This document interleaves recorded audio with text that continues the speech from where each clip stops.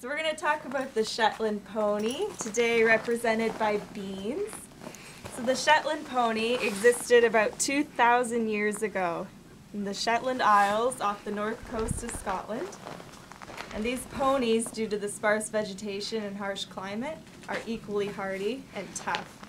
They grow this thick winter coat, which helps them survive in the cold, cold weather. And they're very intelligent. And they're under 42 inches, which is only about 10 and a half hands. So Beans is almost 10